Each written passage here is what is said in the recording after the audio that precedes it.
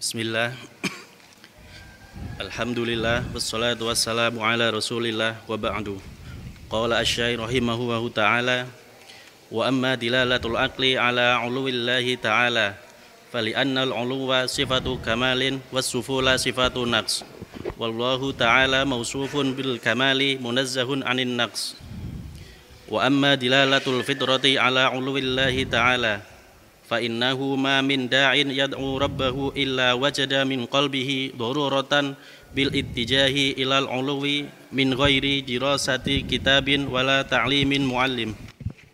Wala wala wala ta'limi mu'al wala ta'limi muallimin. Wala ta'limu muallim. Ha? Wala wala? ta'lim. Min ghairi dirasati kitabin wala ta'limi muallimin. Ataf terhadap min ghairi ya wala ta'limi muallimin lanjut وهذا العلو الثابت لله تعالى بهذه الأدلة القطعية لا يناقض حقيقة المعية وذلك من وجوه الأول أن الله تعالى جمع بينهما لنفسه في كتابه المبين المنزه عن التناقض ولو كان متناقضين لم يجمع القرآن بينهما وكل شيء في كتاب الله تعالى تظن فيه التعارض فيما يبدو لك. فأعد النظر فيه مرة بعد أخرى حتى يتبين لك. قال الله تعالى أفلا يتدبرون القرآن؟ ولو كان من عند غير الله لوجدوا فيه اختلافا كثيرا. الوجه الثاني أن اجتماع المعية والعلو ممكن في حق المخلوق. فإنه يقال ما زلنا نسير والقمر معنا ولا يعد ذلك تناقضا. ومن المعلوم أن السائرين في الأرض والقمر في السماء فإذا كان هذا ممكنا في حق المخلوق فما بالك بالخالق المحيط بكل شيء؟ خلاص؟ قال الشيخ محمد خليل الحراس في شر في شرح العقيدة الوسيطية عند قول المؤلف. في في شرحه العقيدة الواسطية. قال الشيخ محمد خليل الحراس في شرحه الع- العقيدة الواسطية عند قول المؤلف بل القمر آية من آيات الله تعالى من أصغر مخلوقاته وهو مع المسافر وغير المسافر أينما كان. قال وضرب لذلك مثلا بالقمر الذي هو موضوع في السماء وهو مع المسافر وغيره أينما كان. قال فإذا جاز هذا في القمر وهو من أصغر مخلوقات الله تعالى أفلا يجوز بالنسبة إلى اللطيف الخبير alladhi ahata bi ibadihi ilman wa qudratan walladhi huwa syahidu muttali'un alaihim yasma'uhum wa yarahum wa ya'lamu sirrahum wa najwahum. Balil alamu kulluhu samawatuhu wa arduhu minal arshi ilal farsh baina yadaihi ka'annahu bunduqatun fi yadi ahadina. Afala yajuzu liman hadha sya'nuh ayyuqal innahu ma'a khalqihi ma'a kaunihi aliyan alaihim ba'inan minhum fawqa arshih al-wajhu thalis anna ijtima'al uluwi wal bacanya kalau isim ini ada hamzah wasal seperti ini an-najtima'al ulu an-najtima' langsung. An. An-najtima bukan anna ijtima anna ijtima an-najtima'a gitu. Al-wajhu thalis أن اجتماع العلو والمعية لو فرض أنه ممتنع في حق المخلوق لم يلزم أن يكون ممتنعا في في حق الخالق. فإن الله لا يمثله شيء من خلقه ليس كمثله شيء وهو السميع البصير. قال شيخ الإسلام ابن تيمية في العقيدة الواسطية من شرح الهراس وما ذكر في الكتاب والسنة من قربه ومعيته لا ينافي ما ذكر من علوه وفوقيته. فإنه سبحانه ليس كمثله شيء في جميع نعوته وهو علي في دنو في دنوه قريب في علوه. طيب بسم الله الرحمن الرحيم. Alhamdulillahi Rabbil Alamin. Wassalatu wassalamu ala sayyidil mursalin Wa ala alihi wa sahbihi wa man tabi'ahum ihsan. Allahumma inna nas'aluka ilman nafi'a wa rizqan tayyiba wa amalan mutakabbala Masih kita dan ini di akhir pembahasan insyaallah kaidah kelima di penghujung kitab bahwasanya kebersamaan Allah taala terhadap makhluknya tidak kontradiksi kontradiktif terhadap kemahatinggiannya atas seluruh makhluknya dan beristiwanya ia di atas arsnya. Dalil Al-Quran dan As-Sunnah telah kita pelajari ijma' pun telah terkatakan akannya. Maka di sini mulai dalalatul aql dan dalalatul fitrah dalil secara akli dan dalil fitri dalil secara logika atas kemahatinggian Allah Ta'ala فلأن العلو صفة كمال والسفول صفة نقص Ketinggian itu adalah sifat kesempurnaan. Lawan dari tinggi itu rendah. As-suful kerendahan adalah sifat yang merupakan kekurangan. Hal yang menunjukkan kekurangan. Wallahu ta'ala mausufun bil kamali munazzahun 'anil naqs. Allah taala tersifati dengan kesempurnaan dan terbebaskan bersih dari eh, kekurangan. Ya, jadi kamal dan naqs. Taib. Ketika seseorang mensifati Allah Maha sempurna, ya, kamil gitu, maka ini kabar tentang Allah Subhanahu wa taala. Ya memang Allah taala Maha sempurna dengan segala sifat-sifatnya. Tidak ada sifatnya Allah taala yang kurang. Adapun beberapa sifat yang memang dari segi makna ia nisbi seperti makar, kaid, nisbi, khida' ini di antara sifat-sifat Allah yang nisbi artinya sifat-sifat tersebut ada pada Allah Ta'ala sebagai pembalasan dan keberhakan atas musuh Allah Subhanahu wa taala. Yang itu semua tergantung dengan masyiah Allah taala. Seperti kaid di sini makar wa makaru wa makarallahu. Maka di sini ada sifat makar. Tetapi sifat makar tidak akan Allah taala kehendaki untuk terjadi pada dirinya kecuali sebagai timbal balik atas makar orang-orang yang kafir atau orang-orang yang memusuhi agama Allah. Wa makaru makanya ayat-ayat yang seperti ini untuk sifat-sifat ini kerap kali memang merupakan uh, jawaban terhadap perlakuan musuh Allah. Wa makaru wa makarallahu. Mereka membuat makar, maka Allah pun membuat makar terhadap mereka saja yang membuat makar. Ya, kemudian uh. Mereka berusaha menipu Allah. Tapi kemudian dibalas apa? Wa huwa khadi'uhum dan Allah lah yang menipu mereka. Kemudian innahum yakiduna kaida. Mereka membuat ya penipuan dan semisal itu kaid. Wa akidu kaida. Dan aku pun membuat tipuan untuk mereka saja. Jadi sifat-sifat yang tadi yang kita sebutkan yang nisbi dalam artian kalau dia kalau sifat-sifat tersebut ternisbatkan kepada Allah maka pasti itu terpuji. Tapi kalau misalnya ternisbatkan kepada manusia, maka kerap kali dianggap apa? Negatif. Ya kan? Coba kalau misalnya seseorang memiliki sifat penipu. Pasti jelek dianggapnya, penipu, ya.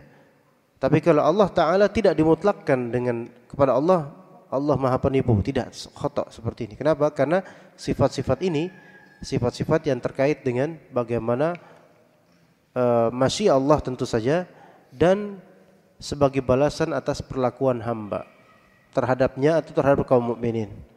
Makanya tidak dimutlakkan kepada Allah taala nama kaid, makir, mustahzi, uh, mukhadi' tidak. Itu tidak menjadi nama Allah taala. Tapi Allah taala tersifatkan dengan hal-hal tersebut. Ya seperti istihza, melecehkan, menghinakan, Allah tersifati dengannya. Tapi sifat Allah melecehkan, menghinakan ini ini sifat yang memang Allah taala akan adakan pada dirinya ketika memang cocok untuk uh, untuk orang-orang yang berhak mendapatkannya. Ya, seperti istihza di surat Al-Baqarah di mana? Uh,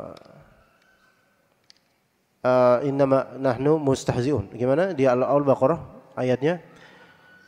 Wa idza laqul ladzina amanu qalu amanna wa idza khalau ila syayatinihim qalu inna ma'akum innama nahnu mustahzi'un. Tapi di sini mustahzi'un siapa ikhwan? Mustahzi'un siapa? Orang-orang munafik. Mereka mengol, memperolok melecehkan agama Allah, melecehkan orang mukminin dan melecehkan Allah sebenarnya mereka itu. Maka Allah balas. Allahu yastahzi'u bihim wa yamudduhum fi tughyanihim ya'mahun. Allah Ta'ala Allahu yastahzi yaitu berbuat apa? melecehkan, memperolok-olokkan istihza untuk mereka. Lihat di sini kita nggak bisa mengatakan ya mustahzi. Ketika kita berdoa, wahai yang maha memperolok, enggak, enggak. Atau ya makir, enggak. Ya, walaupun Allah Taala tersifati dengan itu, tapi sifat tersebut sifat yang tidak langsung begitu saja dimutlakkan tanpa ada keterikatan dengan perbuatan orang-orang kafir atau munafik atau fasik. Taib. Dan dan ketika Allah tersifati dengannya, itu menunjukkan kesempurnaan Allah Subhanahu wa taala. Allah membuat makar terhadap orang kafir, itu menunjukkan Allah menipu orang-orang munafik, itu adalah kesempurnaan Allah taala. Ya, adapun kita sering kali lafal menipu untuk kita jelek. Ya, untuk manusia jelek, kecuali di beberapa konteks seperti di peperangan. Kata Nabi SAW, Al-harbu khud'ah atau dalam uh, redaksi lain khida'ah atau bisa juga khoda'ah itu semua ada bacaannya peperangan adalah uh, penipuan khida' maka itu enggak apa-apa kok yang dalam konteks itu. Wa amma dalalatul fitrah. Adapun dalil fitrinya atas kemaha tinggian Rabb kita azza wa jalla fa innahu ma min da'in yad'u rabbahu illa wajada. Bisa illa wajada min qalbihi daruratan daruratan bil ittijahi ila al-uluwi min ghairi dirasati kitabin wala ta'limi muallimin. Tidaklah ada orang yang berdoa ya kepada Allah taala kecuali pasti dia menemukan kalbunya berdarurat untuk menghadap ke atas. Kalbunya yang menghadap ke atas. Secara darurat secara emergensi tidak bisa dipungkiri sama sekali. Untuk kolbunya menghadap ke atas. Kolbunya ya ada rasa gitu kolbunya itu meninggi untuk menghadap ke atas. Adapun mungkin wajah mungkin mungkin tertunduk. Ya tapi boleh enggak misalnya berdoa menghadap ke atas maksudnya wajahnya melihat ke atas boleh? Boleh. Kata Allah Subhanahu wa taala qad nara taqalluba wajhika fis sama falanwalliyannaka qiblatan tarduha kami melihat taqallubuka qad nara taqalluba wajhika yaitu wajahmu itu melihat ke langit. Dalam kondisi apa Nabi? Seperti ini? Dalam kondisi mengharap kepada Allah berdoa kepada Allah supaya kiblat itu ditahwil kembali ke Ka'bah karena ketika itu di awal-awal periode Madinah surat Al-Baqarah itu turun walaupun panjang tapi berperiode dan di periode Madinah dan itu di awal-awal. Di awal-awal periode Madinah itu uh, uh, kiblatnya kaum muslimin masih di apa? Baitul Maqdis. Sebagaimana di periode Mekah juga setelah disyariatkannya salat, maka menghadaplah ke Baitul Maqdis. Tapi Rasulullah SAW kata para ulama menjamak keduanya yaitu Ka'bah sekaligus Baitul Maqdis. Jadi di hadapan beliau antar Baitul Maqdis dengan diri beliau, beliau ada Ka'bah sehingga menghadap Ka'bah juga Baitul Maqdis juga. Tapi ketika hijrah ke Madinah, hal itu nggak mungkin dilakukan. Imma ke Ka'bah, imma ke Baitul Maqdis. Maka kemudian beliau sering melihat ke langit mengharap kepada Allah Subhanahu wa taala. Maka qad nara taqalluba wajhika fis sama yaitu berarti menghadap ke langit ini menunjukkan bahwasanya Allah taala Maha tinggi. Ya. Maka kalau orang kemudian melihat ke langit berharap kepada Allah taala, maka ini fitrahnya seperti itu. Walaupun ada sebagian salaf mengatakan aku berpuluh-puluh tahun enggak pernah melihat ke langit saking malu akan Allah. Ada salaf berkata seperti itu. Itu menunjukkan bahwasanya Allah taala berada di atas langit dan itu menjadi fitrah bagi salaf dan khalaf dan semua insan bahkan siapa pun makhluk lah. Ya. Itu ya, menunjukkan hal seperti itu. Maka kemudian Allah Subhanahu wa taala mengartikan falan walliyannaka qiblatan tardaha. Maka kita akan mengalihkan kiblat sesuai dengan yang engkau ridhoi dan memang Allah taala meridhoi kiblat tersebut yaitu kembali ke Ka'bah. Kembali kiblatnya ke Ka'bah, tidak ke Baitul Maqdis dan wajib bagi semua orang untuk berkiblat ke Ka'bah sampai sekarang. Ya. Dan itu yang Allah nilai itu adalah apa? ketakwaannya, bukan sekadar apa? menghadap Ka'bah saja. Kayak laisal birra an tuwallu wujuhakum qiblal masyriqi wal maghrib, walakinnal birra panjang ya. Taib. Kemudian ikhwan min ghairi dirasati kitabin wala ta'limi muallimin. Tanpa adanya dirasat kitab, tanpa adanya ta'lim dari guru.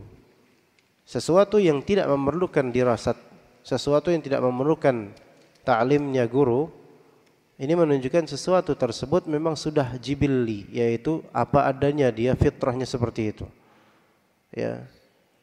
Orang-orang nggak perlu ditalkin bahwasanya dusta itu jelek, maka itu sudah fitrah. Orang-orang tidak perlu ditalkin bahwasanya jujur itu bagus, itu sudah fitrah. Adapun rinciannya nanti ya ada lagi, tetapi basicnya atau defaultnya kenyataan seperti itu yaitu jujur itu bagus, dusta itu jelek, itu sudah masuk dalam fitrah seseorang. Sebagaimana fitrah seseorang menyatakan bahwasanya penciptanya itu pasti yang paling tinggi dan tidak ada yang setara dengannya. Itu fitrahnya. Itu sudah menjadi fitrah.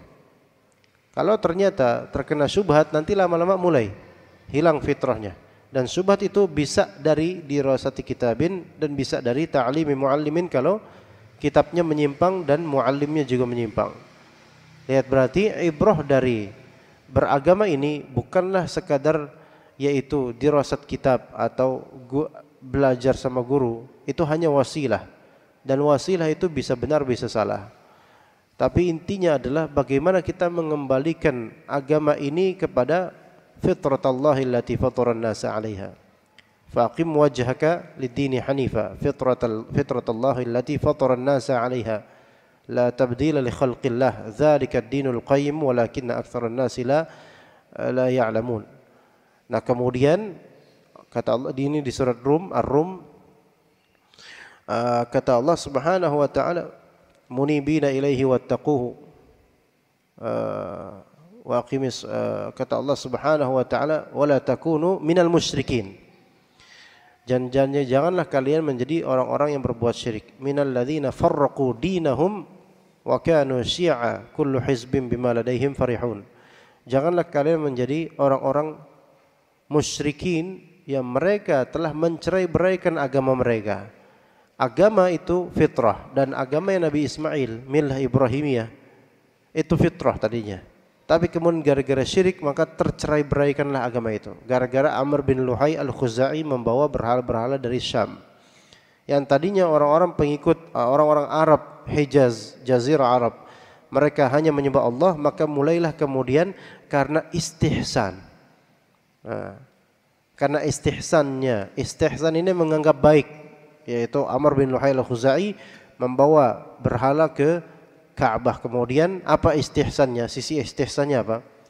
Karena Amr bin Luhai al-Khuzai datang ke daerah Syam dan terlihat di sana banyak orang yang menyembah berhala, patung.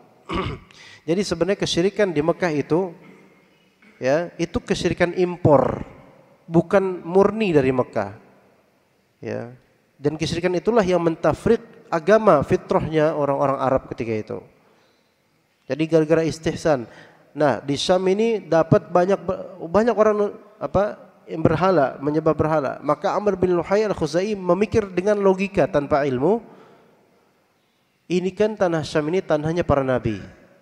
Dahulu Nabi Ibrahim di sini dan seterusnya. Ya, Nabi Ibrahim punya dua tempat yaitu di tanah Syam dan di uh, di, di Ka'bah juga yaitu untuk Ismail. Nah, akhirnya dibawalah, diboyong karena apa? Merasa kalau sekiranya ini salah ya nggak mungkin dong ini ada di tanahnya para nabi ya. Maka dibawa akhirnya sesatlah mereka kemudian sesatlah. Kemudian yang tadinya agamanya agama fitrah mulai menyembah berhala. Ya, alladzina farraqu dinahum yaitu orang-orang musyrik mereka lah yang mentafriq. Ya, jadi yang memecah belah agama ini adalah musyrikun sebagaimana kenyataannya sekarang. Wa kanu syiah dan mereka itu bergolong-golong, berkumpul berkomplotan. Kullu hizbin bima ladaihim farihun. Setiap hizb itu uh, berbangga dengan apa yang ada pada mereka. Konteks kalimat ini sebenarnya dalam terhadap orang-orang musyrik. Orang-orang musyrik berbangga dengan ajaran menyimpangnya mereka padahal itu berlawanan dengan dengan fitrah. Nah, dan kita lihat ikhwan, orang-orang yang mengingkari kemahatinggian Allah Subhanahu wa taala secara tekstual ya atau secara pelajaran, mereka itu terindikasikan suka berbuat syirik. Suka berbuat syirik. Kenapa? Karena hati mereka itu kadang-kadang enggak berkiblat kepada Allah taala. Mereka mintanya kepada selain Allah. Makanya mereka mulai tergerogoti akidah fitrah mereka menuju ke selain Allah taala.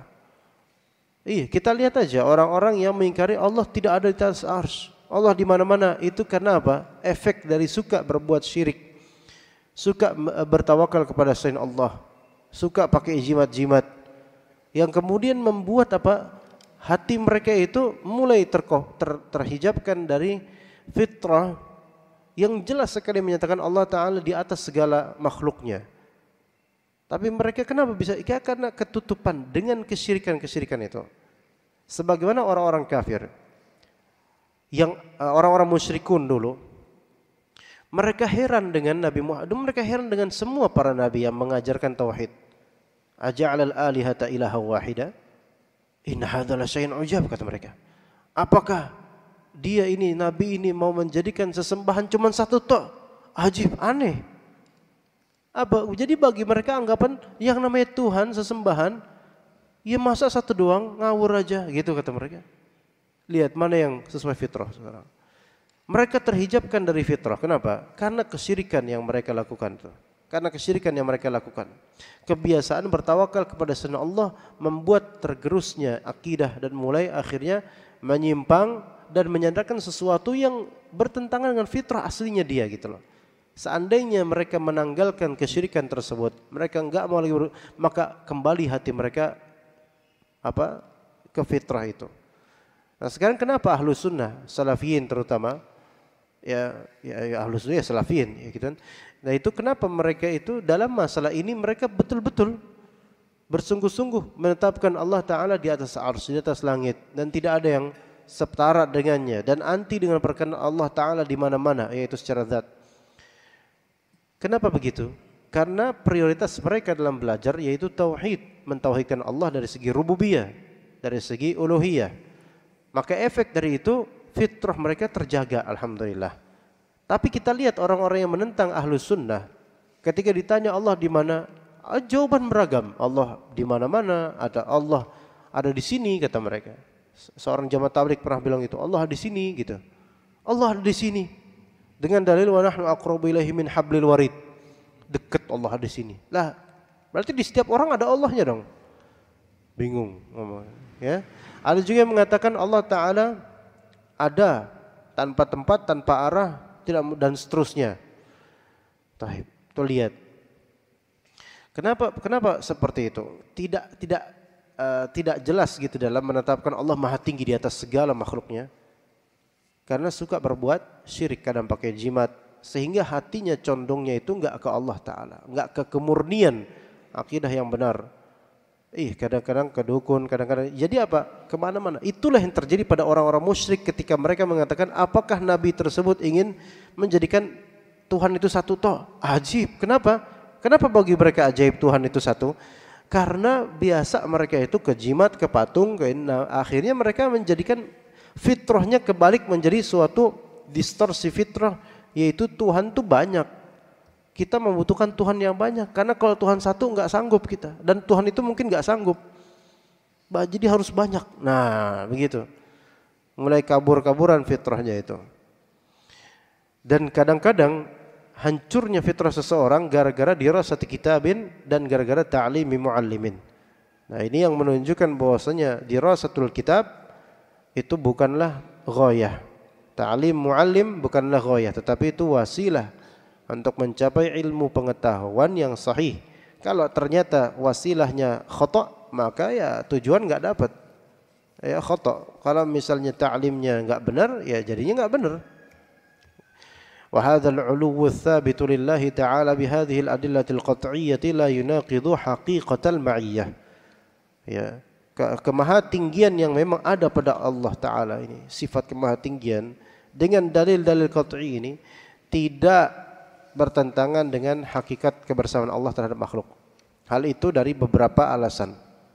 Pertama, Allah Ta'ala jama'a bainahuma li nafsihi fi kitabihil mubinil munazzahi tanaqud.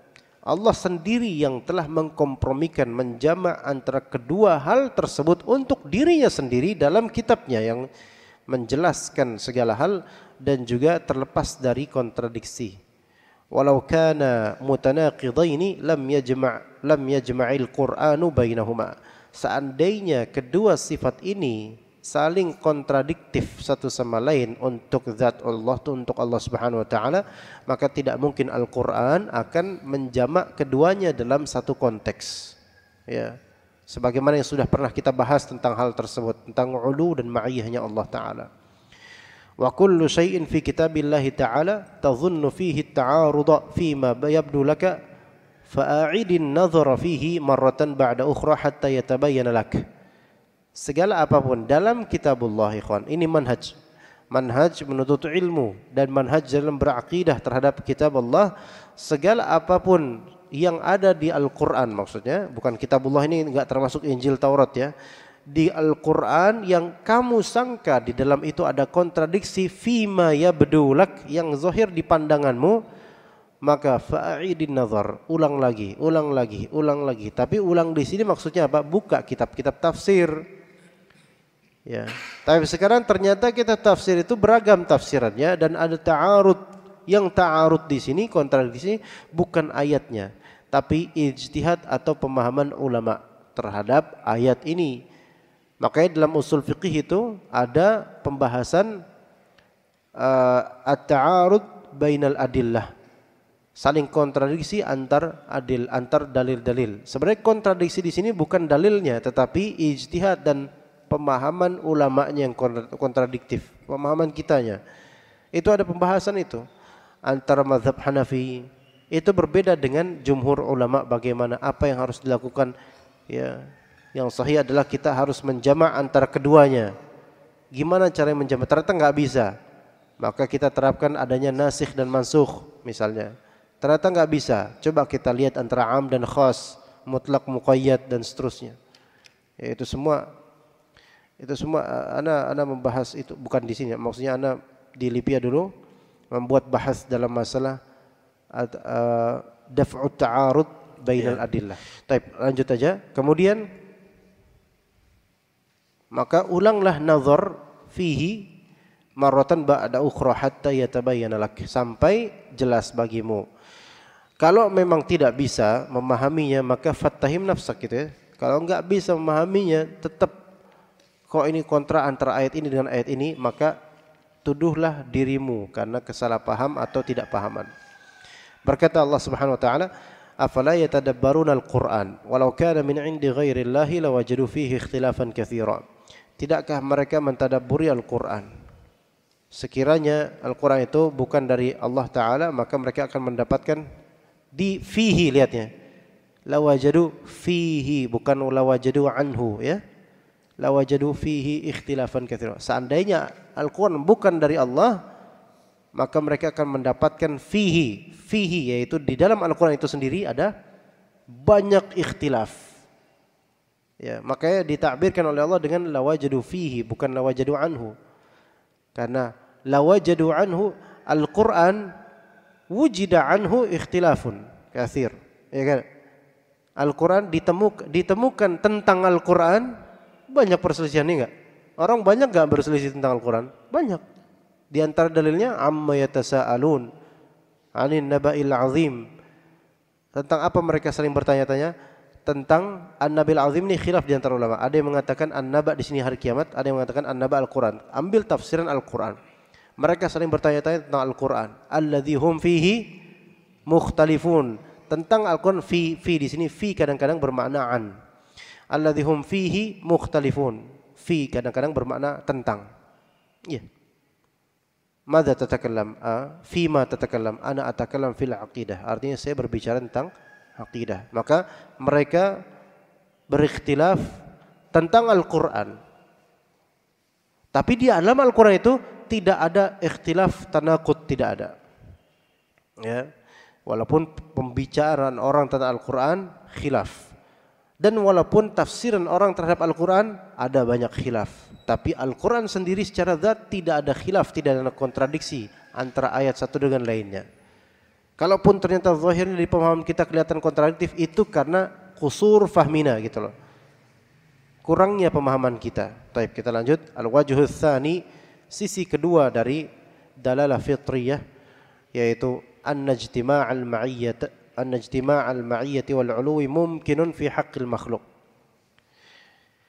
kita lihat di sisi tradisi ke, ke tradisi makhluk yaitu orang yaitu makhluk seperti kita atau makhluk Allah pada umumnya kebersamaan sekaligus ketinggian itu bisa terkompromikan untuk satu zat makhluk. Contoh dikatakan mazilna nasiru wal qamaru ma'ana kita masih terus berjalan dan qamar yaitu bulan bersama kita. Wala yu'addu dzalika tanaquda. Hal tersebut tidak disebut kontradiktif dan itu sesuai dengan hakikat yang terjadi dan terlihat, terdengar atau terlihat langsung. Wa minal ma'lum diketahui anna sa'irina fil ardi wal qamara fis sama. As-sa'irina fil ard. Fil ard ini khabar ya orang-orang yang berjalan ada di muka bumi, di atas bumi. Jelas itu wal qamaru wal qamara fis sama. Al qamar berada di ketinggian. Ya. Lihat, fi di sini as-sairina fil ardi wal qamara fis sama. Dua fi ini beda makna kan? As-sairina fi maknanya apa? Ala. As-sairina 'ala al-ardi. Al-qamara fi sama. Fi di sini fi inside di dalam ketinggian. Taib. Fa idza kana hadza mumkinan fi haqqil makhluqi fama baluka bil khaliqil muhit bi kulli syai. Kalau misalnya ini mungkin, mungkin di sini jaiz yaitu happening, boleh terjadi, mungkin dalam hak atau dalam konteks makhluk, maka bagaimana fama baluka fama baluka ini terjemahannya jangan uh, boleh terjemahkan fama baluka artinya what do you think? Ya gitu ya. Maka bagaimana pendapatmu dengan al khaliq sang pencipta al muhit al muhit bi kulli syai yang muhit yaitu mencakup segala sesuatu. Kalau makhluk aja seperti ini mungkin maka Allah Subhanahu wa taala lebih mungkin lagi padanya. Dengan kemahatinggiannya dia bersama dengan kita kalau bulan dengan tingginya sangat-sangat tingginya bulan atas kita, kita bilang bulan bersama kita. Kita ke mana-mana pun tetap bulan di situ dan tetap bersama kita. Ya. Kita naik pesawat, tetap kelihatan itu bulan dan bersama kita. Kalau ini padahal sama makhluk loh. Maka tentu yang lebih tinggi lagi yaitu al-a'la yaitu Allah Subhanahu wa taala ya, lebih disifati lagi dengan hal seperti itu. Tapi di sini bukan berarti pengkiasan bahwasanya ketinggian Allah taala sebatas ketinggian qamar. Tidak. Tentu Allah taala maha tinggi ya. Qala Syekh Muhammad Khalil Al-Harras eh, terhadap perkataannya Ibnu Taimiyah. Ibnu Taimiyah berkata balil qamaru ayatun min ayatillahi ta'ala min asghari makhluqatihi wa huwa ma'al musafiri wa ghairil musafiri aina makan. Bulan salah satu tanda di antara tanda kekuasaan Allah termasuk sekecil-kecil makhluk Allah taala. Itu sekecil-kecil makhluk dan kita jauh lebih kecil daripada bulan. Dalam keadaan apa? Bulan itu bersama dengan musafir dan juga dengan selain musafir. Ya, Antum diam di kamar, ya bulan tetap aja di situ. Dan antum melihat jendela, bulan tetap di situ dan dia bersama kita gitu loh. Padahal bulan tidak punya mata, tidak punya telinga, tidak punya mulut. Arti lainnya, bulan tidak tersifati dengan melihat, mendengar, ya kan? Enggak tersifati dengan itu. Tapi ketika ya, kita kerasa bahwa saya bulan itu seolah-olah sedang melihat kita, sedang memantau kita. Karena apa? Kemahat, eh, bukan ketinggian bulan tersebut yang selalu ada di ketinggian dan selalu kita lihat mau ke mana aja selalu di situ terlihat gitu loh. Terhijabkan pun dengan tembok tetap bulan itu di atas kita. Ya. Nah, itu dalam hak bulan. Padahal bulan tidak mendengar, tidak melihat, maka bagaimana dengan yang maha mendengar dan maha melihat? Gitu ya. Tentunya dia bersama kita, yaitu Allah Ta'ala bersama dengan seluruh makhluknya, sekaligus di atas seluruh makhluknya. Maka kata Al-Harras rahimahullah, وضرب daraba لذلك مثلا بالقمر الذي هو موضوع في السماء وهو مع المسافر وغيره أينما كان. شيخ الإسلام Islam memberikan contoh suatu misal mathal permisalan dengan al-qamar. Ya darbul mathal di sini bukan darbul mathal dengan mengkiaskan Allah menyamakan Allah dengan makhluknya bukan.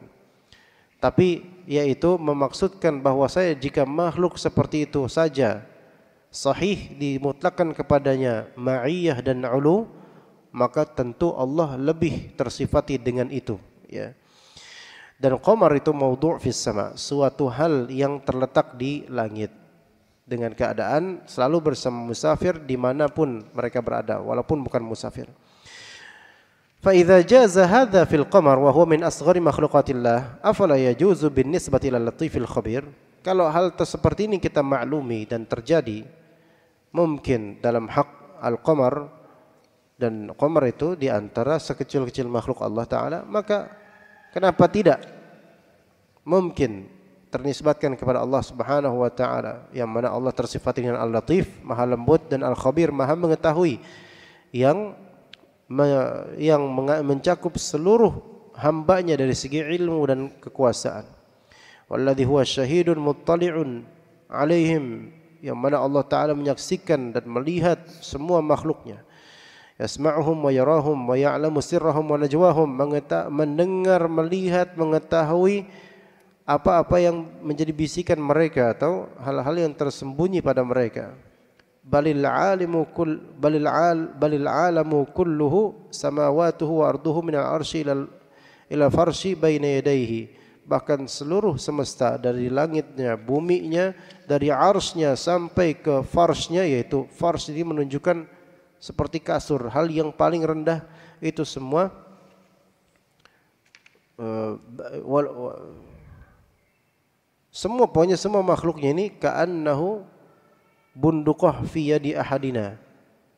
Bunduqah itu maknanya semacam biji atau kemiri atau semisal itu fi yadi ahadina di tangan seorang dari kita.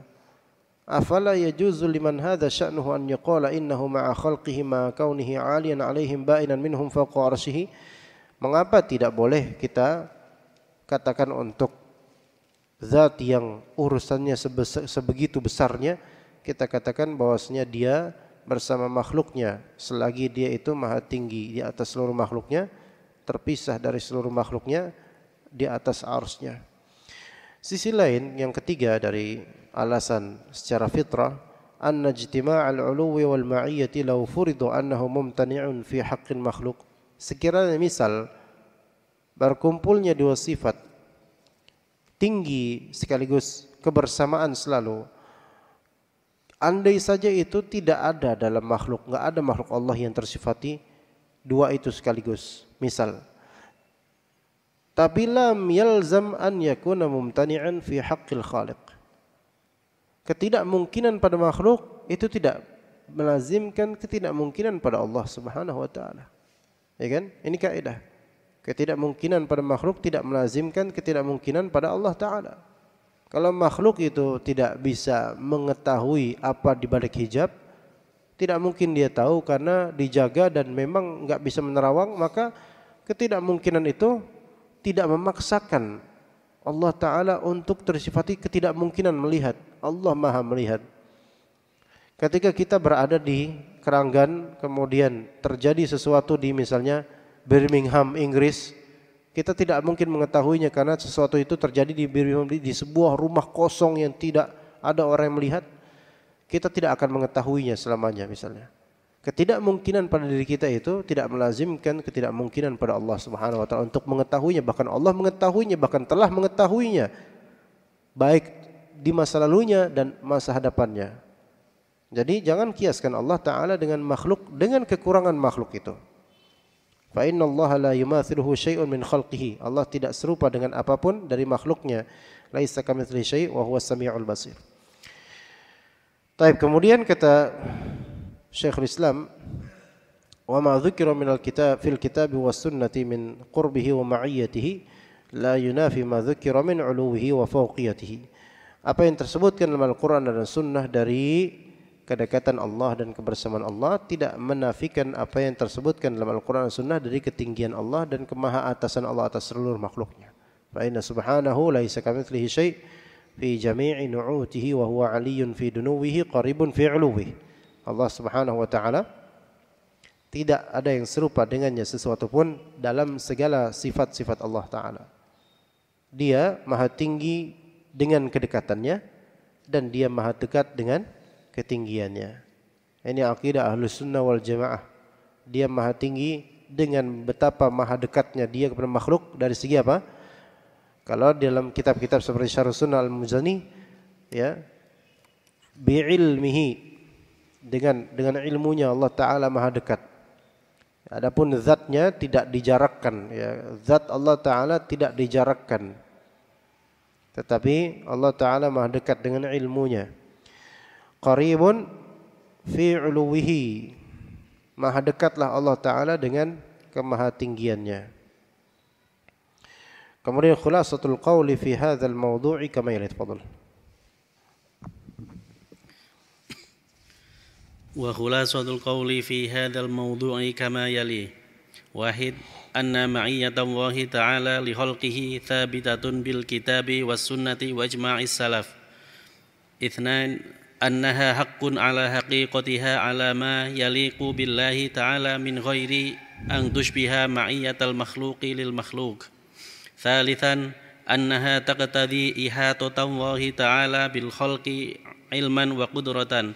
وسمعا وبصرا وسلطانا وتدبيرا وغير ذلك من معاني ربوبيته إن كانت إن كانت المعية عامة وتقتضي مع ذلك نصرا وتأييدا وتوفيقا وتسديدا إن كانت خاصة رابعا أنها لا تقتضي أن يكون الله تعالى مختلطا بالخلق au fi amkinatihim wala tadullu ala dhalika biwajhin minal wujuh. Khamisan idza tadabbarna ma sabaq alimna annahu la munafata baina kaunillahi ta'ala ma khalqihi haqiqatan wa kaunihi wa kaunihi fis sama'i ala arsyihi haqiqatan. Subhanahu wa bihamdihi la nuh si thana'an alaihi huwa kama athna ala nafsihi. وصلى الله وسلم الله وسلم على عبده ورسوله محمد وعلى آله وصحبه أجمعين. حرره حر حرره الفقير إلى الله تعالى محمد الصالح الأثيمين. طيب. وخلاصة القول في هذا الموضوع كما يلي khulasahnya yang pertama anna ma'iyatullah kebersamaan Allah taala li khalqihi thabita bil kitab was sunnah wa ijma'is salaf. Ada di Al-Qur'an dan sunnah dan ijma' salaf. Tapi ikhwan ternyata diselisihi oleh khalaf atau sebagian dari khalaf. Tapi lihat ada orang menyelisihi Al-Quran, ada orang menyelisihi sunnah, ada orang menyelisihi ijma' hukum asalnya sebenarnya tadinya eh, menentang kitab, menentang sunnah, menentang ijma itu kufur. Tapi kenapa Mu'tazilah secara umum tidak dikafirkan? Kenapa Asy'ariyah tidak dikafirkan? Pada mereka menyelisih ijma. Dan lebih dari itu menyelisih Alkitab As-Sunnah. Kenapa tidak dikafirkan? Inilah yang disebut seseorang menyimpang karena takwil. Maka ketika ada takwil ya karena takwil tidak langsung dikafirkan. Melainkan anggaplah kita katakan diberi uzur takwil tetapi diberikan bayan. Gitu loh. Begitu. Karena mereka karena di sini mereka menyelisihi bukan karena maksud melawan Al-Qur'an atau As-Sunnah atau ijma' salaf. Tadinya, tadinya. Tapi karena apa? Tidak paham atau salah paham, salah belajar, takwil. Takwil di sini bukan takwil makna uh, khusus yang biasa orang Asy'ariyah, tapi takwil maknanya apa? Karena penafsiran karena penafsiran, bukan karena spirit dari awal memang ingin menentang Al-Qur'an, As-Sunnah atau ijma' salaf. Ya kita lihat sebagian Asy'ariyah mereka adalah orang yang paling di antara orang yang paling mengagungkan salaf di antara mereka. Iya. Kita lihat di antara mereka seperti itu. Mereka juga mengagungkan salaf. Mungkin kita akan mengenal Imam Ar-Razi misalnya betapa Imam Ar-Razi itu ya benci dan tidak suka dengan uh, salafiyah Sampai Ibnu Khuzaimah yang satu madhab, sama-sama madhab syafi'i tapi Ibnu Khuzaimah tiga, tiga abad sebelum beliau, itu kitab tauhidnya Ibnu Khuzaimah disebut kitab syirik oleh Imam Ar-Razi. Disebabkan apa? Disebabkan Ibnu Khuzaimah menyatakan bagaimana manhaj salaf, prinsip salaf terhadap sifat-sifat Allah Ta'ala, sifat zatiyah terutama. Maka dibilang kitab syirik, kata uh, Imam Ar-Razi. Lihat, kenapa Imam Razi sampai begini? Apakah maksudnya Imam Razi saya anti Al-Quran, anti Sunnah? Enggak, bukan. Kita lihat di tafsir-tafsir Imam Razi, beliau juga menyebutkan pandangan-pandangan ulama salaf mengenai tafsir fulan, tafsir uh, tafsir ayat ini, tafsir iya, banyak di tafsir Ar-Razi. Ini berarti bukan berarti Imam Ar-Razi itu anti salaf, bukan. Tetapi karena penafsirannya beliaulah yang memang mengikuti beberapa ulama sebelumnya, maka jadilah seperti itu. Ya. Nah kita lihat misalnya rekan-rekan kita dari kalangan Asy'ariyah. Mereka melakukan banyak kebidahan. Tapi tidak melazimkan mereka mereka benci terhadap Nabi SAW ya kan? Enggak, malah justru mereka sangat Masya Allah. Kadang-kadang kita anak cemburu dengan salafiyin ini soal selawat itu kita itu selawat itu bakhil kita, bukhola. Ya. Di, disebutkan nama Nabi Muhammad SAW itu enggak dia biasa aja, beda dengan mungkin mereka. Walaupun mereka terus berlebihan dalam masalah ini gitu loh. Sampai sallallahu alaihi atau dijadikan nyanyian pakai rebanaan dan seterusnya.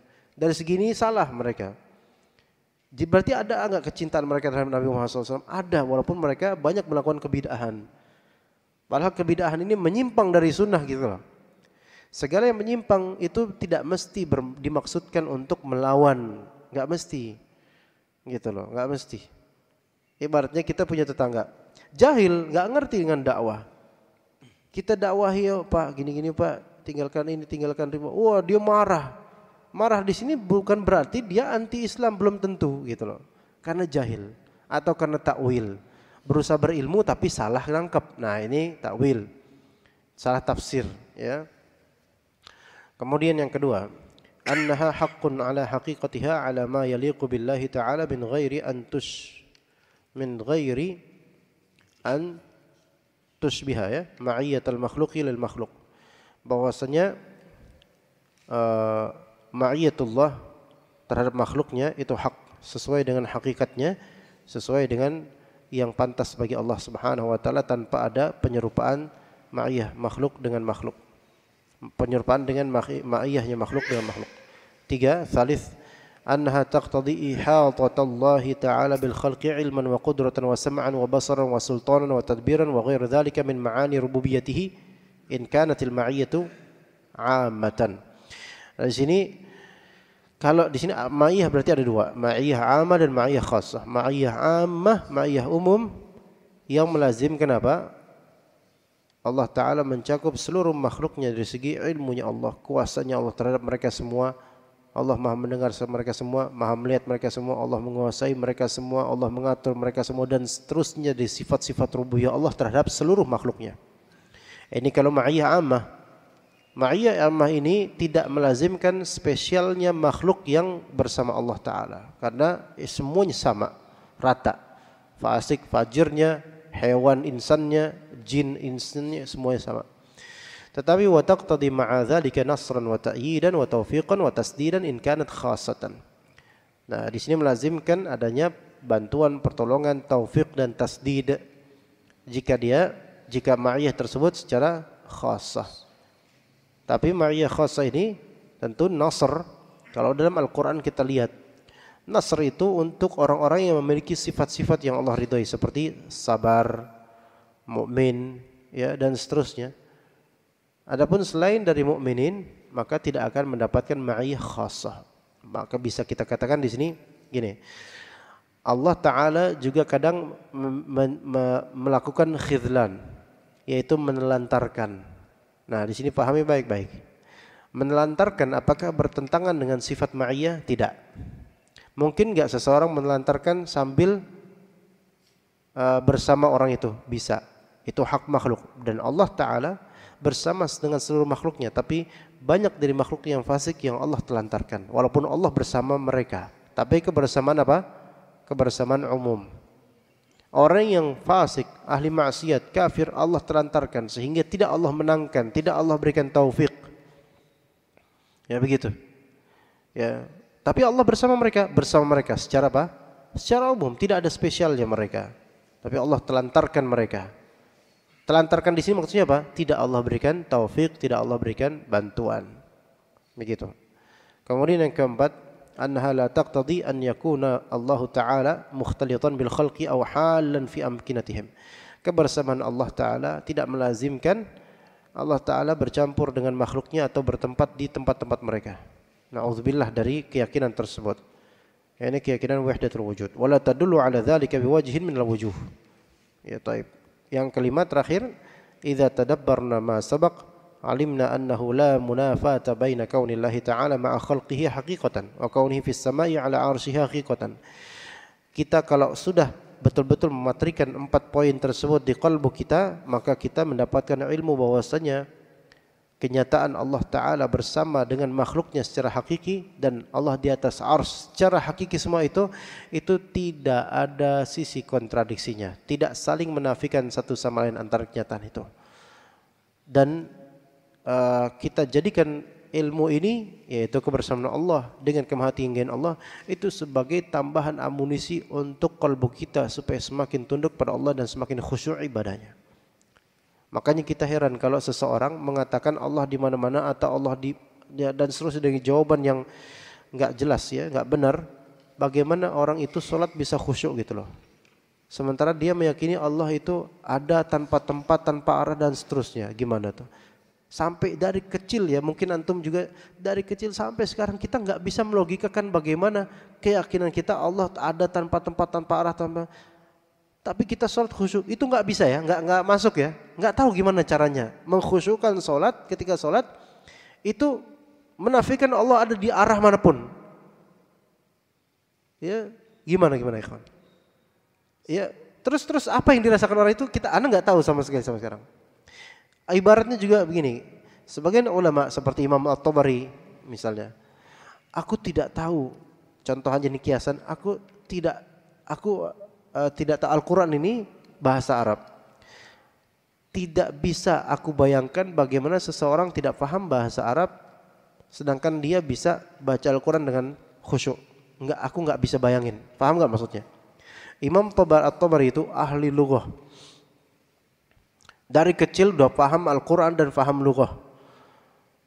Sebagaimana kau antum ikhwan, dari kecil paham bahasa Arab, Antum nggak pernah merasakan bagaimana baca Quran tanpa ngerti bahasa Arab apa artinya.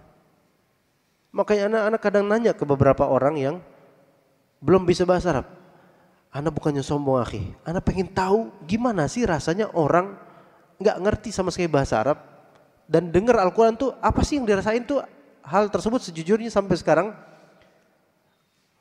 Anak nggak tahu gimana rasanya. Kecuali dulu waktu SD mungkin, Anda nggak paham artinya. Anda baca surat Al-Balad misalnya, Anda nggak tahu artinya. ya. Tapi kan SD anak kecil gitu ya. Tapi ketika udah gede, Anda nggak tahu rasanya gimana. Karena anak SMP di pesantren, Alisat langsung. Mulai kenal bahasa Arab, mulai ngerti uh, makna misalnya kosa kata lah minimal.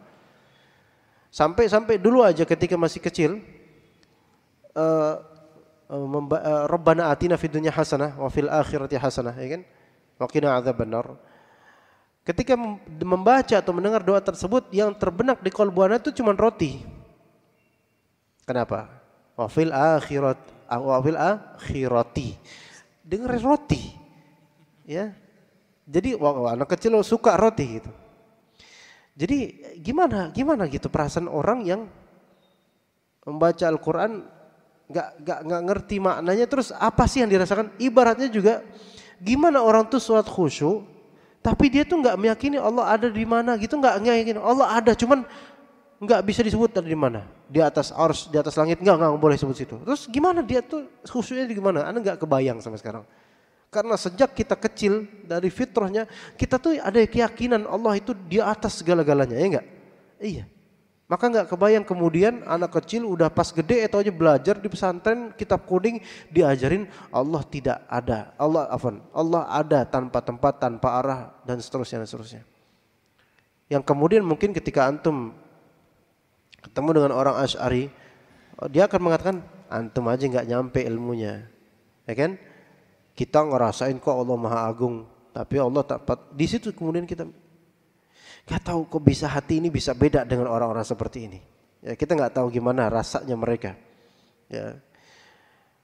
Dan uh, kadang melihat juga kita beberapa dari mereka yang berkeyakinan seperti itu seperti tidak ada kekhusyuan dalam ibadahnya kecuali kalau di hadapan manusia baru khusyuk kelihatannya. Allah taala alam. Ya, alhamdulillah ala kulli hal ini sudah kita bahas, sudah sudah kita khatamkan. Subhanahu wa bihamdihi la nuhsi thana'an alaihi huwa kama athna ala nafsihi wa sallallahu wa sallam ala abdihi wa rasulihi Muhammad wa ala alihi wa sahbihi ajma'in. Alhamdulillah rahimahullahu rahmatan wasi'ah. Semoga Allah merahmati Syekh Muhammad bin Saleh Al-Utsaimin yang alhamdulillah telah kita raup ilmu beliau melalui tulisan beliau dengan izin Allah Subhanahu wa taala.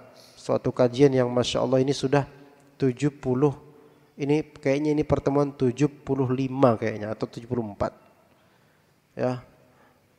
Udah segitu aja kalau dihitung ya. Ini 75 qawaid musla ini. Khatam alhamdulillah dalam 74 atau 75 kali pertemuan. Ya awal-awal kita dulu ngaji anak masih di di bawah ya masih rame waktu itu ya sekarang rame alhamdulillah mungkin hamba-hamba Allah dari dari alam lain mungkin yang lebih ramai mudah-mudahan insyaallah. Tapi alhamdulillah mudah-mudahan Al-Qaid Al-Muthla ini yang kita kaji bermanfaat bukan hanya untuk Tariqul Huda melainkan untuk kaum muslimin pada umumnya karena semuanya ada di YouTube alhamdulillah. Full seri 74 atau sekitar itulah. Full di YouTube dan memang beberapa dari ikhwan juga ada yang menyimak di YouTube dan mereka mendapatkan alhamdulillah manfaat dari kitab ini dengan izin Allah. Alhamdulillah. Dan Anda sepertinya lebih merasakan ingin untuk melanjutkan ini, kita lanjut dengan yang semisal. Mungkin kita kembali ke uh, sama yaitu masalah akidah dan lebih berkaitan dengan asma wa sifat juga. Mungkin kita kembali ke track yaitu pengennya kita Fathur Rabbil Bariyah bitalkhisi al-hamawiyah. Karena kalau ini diputus Ya, dan syarah Al-Warqat Anda pengen nanti dialihkan ke tempat lain. Mungkin di kecil angkap nanti. Karena kalau ini diputus, ya. tema ini diputus. Jadi ada dua posibilitas, imma kita lanjut usul fikih atau kita lanjut ke kitab lain di ini. Kalau kita ke usul fikih maka tema ini terputus. Tema ini terkubur itu sebenarnya lebih rugi dibandingkan kita lanjut usul fikih, ya, kita hilangkan usul fikih. Maksudnya alihkan usul fikih. Iya. Karena minimal usul fikih itu bisa kita integrasikan di kitab Sunan An-Nasa'i. Tapi insya Allah ini kita lanjut aja karena pembahasan semisal ini yaitu Qaid Mutla dan Talkhis dan kitab Hamawiyah apalagi Tadmuriyah itu sesuatu yang sangat langka di tanah air ini. Mungkin di Saudi Arabia lumayan banyak Tapi akan kita bukan Saudi. Sedangkan kita ini bihajatin masah dalam hajat yang sangat darurat sebenarnya untuk salafin mempelajari akidah yang lebih dalam berkaitan dengan asma wa sifat. Ya, ini datang dari lisan pemateri yang Anda juga ngajar kajian umum setiap hari, ikhwan. Anda ngajar kajian umum. Dan Anda dapatkan memang untuk awam, sentuhan ke sininya itu jauh. Mereka nggak bisa paham. Jauh sentuhannya. Dan Anda ngajar tablik akbar, kajian akbar, kajian ummahat, semua. Dan dari beragam kajian, Anda pelajari itu semua. Memang ini sangat krusial harus ada di umat ini, di kaum muslimin Indonesia ini, kajian-kajian yang seperti Qawaid Mutla, Al-Hamawiyah. Nanti tahap kemudian bisa sampai Tadmuriyah, Masya Allah. Kalau misalnya masih bisa paham seperti itu. Lebih dari apa mendahulukan usul fikih. Maka yang seperti ini lebih ini, lebih krusial lagi. Karena kaum muslimin pada kaumannya sentuhannya itu hanya di apa masalah-masalah yang berulang-ulang di masalah akidah dan itu pun sering lupa lagi lupa lagi masalah tentang kubur dan seterusnya berulang-ulang. Anda mengajar di mana-mana sering berulang-ulang tentang masalah adab kubur, masalah akidah ini itu. Tapi ketika agak detail sedikit masalah-masalah, ya masalah akidah apa pun itu, agak detail sedikit banyak dari kita itu nggak kuat, nggak kuat, pusing atau apa nggak kuat. Ya, mungkin karena belum dibiasakan. Tapi insya Allah nih Tariqul Huda kita betul-betul membiasakan untuk masalah ini supaya lebih berkah lagi insya Allah majlis dan masjid ini lebih terisi dengan uh, varian ilmu yang bermanfaat dan dengan insya Allah mudah-mudahan kualitasnya juga tidak kalah insya Allah dengan kajian lainnya. Ya semoga bermanfaat nanti di kitab Al-Hamawiyah kita akan melihat apa bukan Al-Hamawiyah jadi ada kitab Al-Fatawa Al-Hamawiyah Al-Kubra ada juga Sugra. Tapi biasa Al-Kubra dan kemudian ditalkhis oleh Syekh Utsaimin dengan tartib dari beliau sehingga murattabah dan enak sekali insyaallah. Sebagaimana Qawaid Mutla ini kitab yang sangat enak. Walaupun enggak enak dikaji mungkin bagi sebagian tapi enak kitab ini. Termasuk kitab yang tertib yang menunjukkan betapa beliau yaitu uh, Syekh Utsaimin seorang bahar dalam dalam ilmu tetapi dengan lautnya dautan ilmunya beliau beliau bisa menjadikan ilmu itu begitu simpel iya. Nanti insya Allah kita lihat di Fathul Rabil Rabil Bari eh, bukan bukan Fathul Rabil Bariyah. Hah? sahih Fathul eh Fathul Rabil Bariyah. Fathul Rabil Bariyah bitalkhisil Hamawiyah. Anda minta teman-teman tolong carikan kitabnya dan juga ada terjemahannya Ya semoga manfaat insyaallah itu kitab. Ya ana mintanya yang itu aja daripada syarah warakat ya. Ya karena antum kalau putus ini ikhwan udah full fikih berarti nanti kajian kita ini. Oh iya. Perlu kajian seperti ini perlu ikhwan. Bahkan untuk seluruh torik sebenarnya perlu seluruh jemaah torik perlu kajian akidah lebih mendalam lagi. Ya, supaya terlihat kualitasnya. Ya, seperti itu. Wassalamualaikum warahmatullahi wa ala alihi wasallam jemain. Anda sangat berterima kasih pada ikhwan semua semua yang mengundang Anda yang berpartisipasi di kajian-kajian ini. Alhamdulillah berkah semua insyaallah. Ya, ini khataman Qaid Mutla tidak seperti khataman syarah kasf syubhat. Tidak seperti khataman jalan lain. Tapi ini lebih spesial. Masya Allah 70 sekian pertemuan. Barakallahu fikum wa fi juhdikum jami'an. سبحانك اللهم وبحمدك أشهد أن لا إله إلا أنت أستغفرك وأتوب إليك السلام عليكم ورحمة الله وبركاته